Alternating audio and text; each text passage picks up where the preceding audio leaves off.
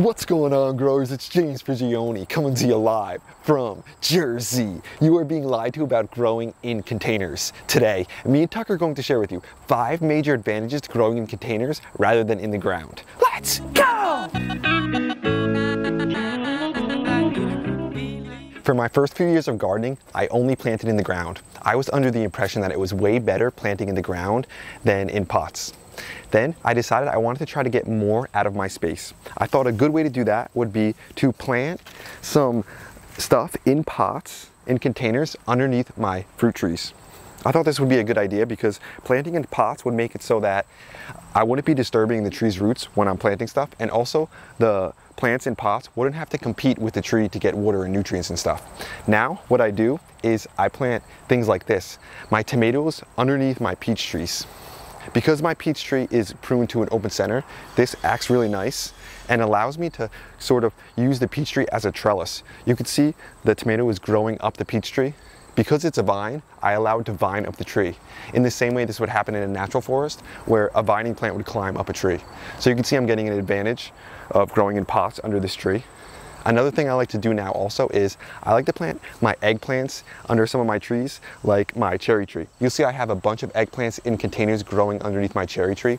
And I also plant things like peppers in containers underneath my hazelnut tree. Whether you just want to get more out of the space you are already growing in, or if you only have limited space, like on a patio or balcony, growing in containers gives you the opportunity to grow almost anywhere. Now that I've been growing in containers for years, I just have absolutely fallen in love with it and I've noticed some huge advantages to growing in pots. The first major advantage to growing in containers is that you don't even have to deal with soil problems. Issues like soil-borne diseases such as fusarium wilt and verticillium wilt, which can devastate your plants, especially tomatoes that are susceptible to this kind of disease. Also, you don't have to worry about pest issues in the soil. Things like the garden symphylan, which I had some problems with in the spring. If you grow in containers, you really don't have to deal with that. Another thing is when you're growing in containers, you don't have to deal with terrible soil, whether it's like super rocky or all clay. I mean, that doesn't really matter because you're growing in pots. And if you want to, try to heal that soil by doing like a sheet mulch and letting the worms do the work, that takes a little bit of time. So while the worms are working, you can grow in containers and still be getting harvests. The second major advantage to growing in containers is that they're portable. You can move them around as needed. So let's say you want your plants to get more sun. You can move the pots in locations to be able to track the sun better. Or if you're like me right now and you're in a heat wave, you could take some of your plants and put them in an area that gets filtered sun, like these peppers here. Look how well they're growing. The strong beating down sun isn't stressing them out too much. They're not wilting or anything. They look really healthy. They're loaded with peppers and that's what I really like to see. That's why I like growing them in some of the filtered sun of the hazelnut trees. I think it helps a lot. Another thing is, if one of your plants gets some uh, disease issues, whether that be pest or any kind of issue, you can kind of remove that from the other plants and deal with it on its own. This way that issue doesn't spread to some of your other plants. You can kind of single it out and work on it. This guy's walking around having a lot of fun. He's hanging out here. It's pretty hot out, but he's always out here. This guy never quits, never gives up. He's the king of the garden. He's also the protector. So he needs to make sure that he's watching out for his whole garden. Another great thing about moving your plants is, say you want to overwinter your peppers or something. When they're in a pot, you could take them inside and let them overwinter and then bring them back outside and grow the same pepper in the spring. You could do the same thing with herbs too. You can bring those herbs inside and still snack on the herbs later in the season. The final great thing about growing containers for the fact that they're movable is if you're someone who can't bend over that great, you can take your containers, put them up on an area where it's much higher so you don't have to bend over to work in them. So there's so many advantages just from the containers and plants being portable. Let's grab a pepper and see if Tuck wants one. Let's grab him an apple sweet pepper.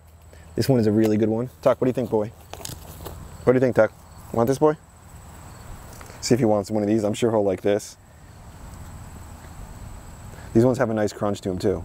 I'll have to taste this one after he does. Break him off a little piece, and then I'll have some. There you go, boy.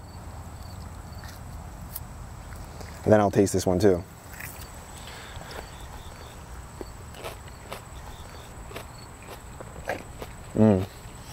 So sweet. So good. Nice crunch to it. This guy loves snacking on his fresh peppers in the garden. He's always hunting for a snack and he earns them. So we got to make sure we keep him well fed so he can keep working. If you guys love seeing Tuck in the videos, make sure to spam some hearts down low. Also, check out the merch down at jamesprigioni.com. Grab a Gardening is Life shirt and be part of the team. So dang good to eat fresh right from the garden, even if it is from a pot. Anyone can be growing this food right in their backyard, on their patio, or anywhere. The third major advantage to growing in containers rather than in the ground or even in a raised bed is that you're going to use less soil and you have more control over the quality of the soil. Also, the plants don't have to compete for space in the soil or even nutrition or even water because they have their own personal space. Each container is like the plant's own uh, their own personal raised bed, which is cool.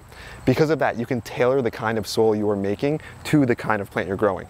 For instance, if you're growing cucumbers, you can make a more alkaline soil. soil. If you're growing tomatoes, you can make a more acidic soil. So it's almost like you make a personal little home for each kind of plant that you're growing. When I make my soil, I typically use as a base coco coir. It's uh, completely inert, so it doesn't have it doesn't have a high or low pH.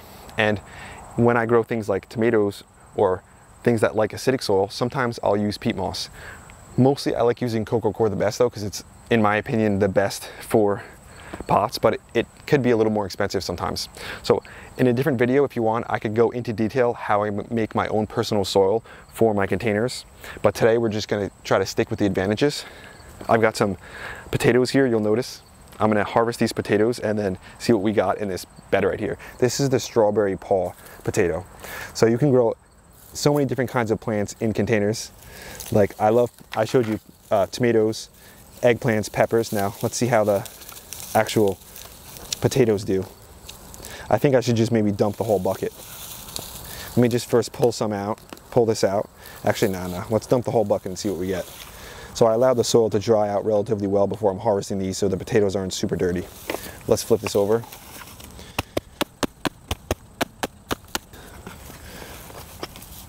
You gotta, just gotta move this out of the way.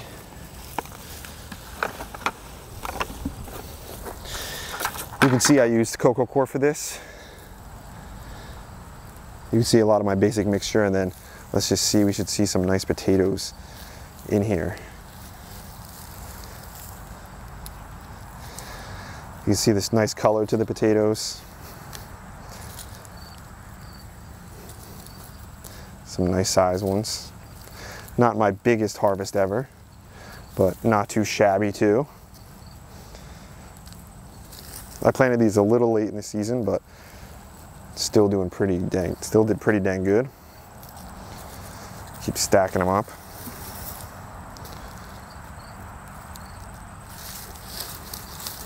That looks like it's most of them. And if I want, I could just recompost all this soil here and use it again in the future as long as I use a hot compost and I remove any of the pathogens and pathogens and stuff because we don't want to be spreading diseases from one year to the next. Not too bad though, some nice looking potatoes in here. The fourth major advantage to growing in containers is probably one of my favorites and it might be for you too. When you grow in containers, there is little to no weeding. And as we know, weeding is one of the worst parts about gardening. So right here, this is about going to be the extent of the weeding you're going to need to do. Looks like I have a little wood sorrel, I think this is, popped up in here. All I'm gonna have to do is just pop that out. I didn't put mulch around this plant, which I should have. You can see a lot of my other plants like here, I've got mulch around it, which will definitely help when growing in containers. But this right here, I'm growing a moringa tree right in a container. I think it looks cool. I'll eat it as an edible because you can eat the leaves. So I grow it as an edible, I meant, and you can eat the leaves, which is really cool. So that's another added advantage to, growing in containers. You can do like experimental things because uh, it's no, it's not a big deal if they do bad. And you could also grow invasive species like mints and stuff in containers because you don't have to worry about them spreading throughout the whole entire garden. So it's so fantastic not have to weed much. It makes gardening so much easier. So it's just another great advantage to growing in containers. The fifth major advantage to growing in containers is that you're going to be using less water and less fertilizer because the area that you're growing in is super concentrated. So think about it. We only have to put enough water into this one pot here instead of having a bunch of plants in a large raised bed and watering that whole raised bed in, you could just water this one plant just by watering the bucket. Just make sure when you water that there's something underneath to catch the water and you don't want to be over watering or you're going to be washing out a lot of your fertilizer. Fertilizing is nice too. You're, going to use less of it because just like the watering is concentrated, so also will the fertilizer be concentrated in one location. So you end up going through less of it, which is a great advantage. So another thing that I like about growing things like peppers and eggplants and stuff in containers, an added bonus, is that like we're going, we're getting late into the season. So I need to take out a lot of my crops from my raised beds and then put in my fall stuff. But the only thing that's bad about that is this is now when the peppers start to really producing heavy. So right when the peppers are really producing heavily, really well in my raised beds, it's almost time to take them out. So when we grow them in pots like this, when they're getting into their uh, into a real high level of production, we're fine growing them in pots. We could remove the summer stuff from our raised bed and get our fall stuff in. We don't have like some peppers and stuff lingering in the bed that kind of makes it so we can't completely shift over to the fall stuff in the raised beds because I like growing things in like polycultures. So that's just another added bonus. You'll notice right here, this is a habanada pepper. It looks like a like a hot pepper because it's in the habanero family, but it's actually a sweet habanero. So it's pretty cool, the habanada. Let me take a bite of it real quick. Mmm. Still has that classic habanero like kind of flavor and it feels like it's gonna get super hot but then the heat never comes. It's unique, it's delicious, and it's uh, really cool.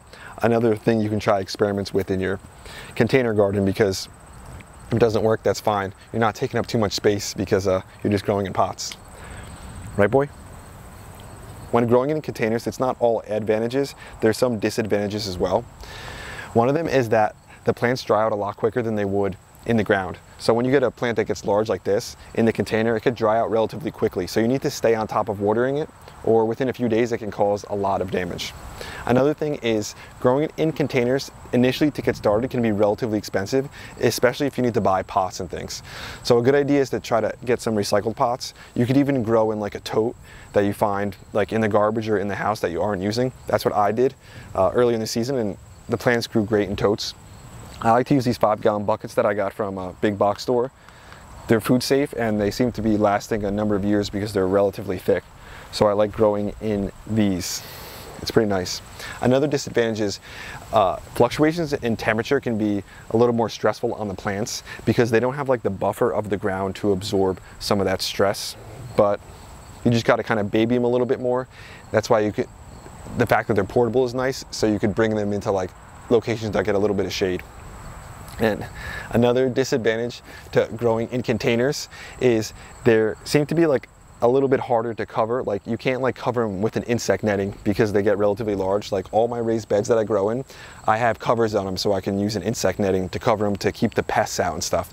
So when it comes to containers, it's kind of harder to separate them from pests because it's, I guess, a little tougher to make a covering unless maybe in the future I should just build a whole area that that is enclosed with like some kind of insect netting covering to put all my pots in.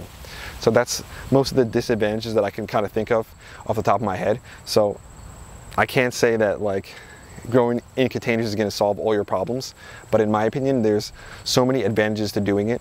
So even if you have a food forest like me, you can get so much more out of the space by growing in containers. So there's so many great things about it. And I have to say in the past, I was like, I was kind of a hater when it came to growing containers. I figured I had enough space to just plant in the ground. But my whole mind shifted about that.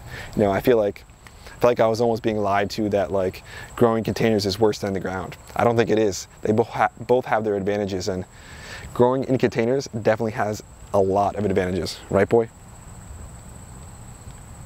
That's today's video growers. Thanks for watching. We hope you enjoyed it. We hope you got something out of it. So the idea with this video was for me and Tuck to shed some light on some of the advantages to growing in containers and hopefully encourage you guys to get some stuff in the ground. Saying you don't have the space because you're on a patio or something, in my opinion, that's not a good enough excuse. Everyone should be growing some of their own food, even if it's some fresh herbs. Even if you don't have space for a patio, you could still be growing some stuff inside on a windowsill. Planting some of your own food and getting to taste it, no matter how small it is, it's just such a great feeling. So we want to share that with as many people as possible. Me and Tuck wanted to mention to uh, check out the merch down at jamesprigioni.com.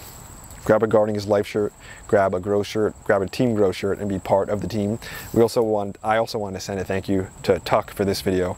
It's hot out here. He never quits. He's always working. We love this guy. Spam some hearts down low if you love little homie in the videos. He's such a sweet guy. I also wanted to send a thank you to one of our new channel members, Jay Noella Edwards. Thanks for being a part of Team Grow. Thanks for having your hand in everything we're doing out here. Uh, your contribution means the world to me and the little guy, so we wanted to thank you so much for that. It looks like there might be some storms coming, which would be nice. We need some rain. It's been really dry around here. The garden's still kicking out a lot of food, and we're still having a blast eating it and getting ready for the next season. Tuck and James will be back again real soon. We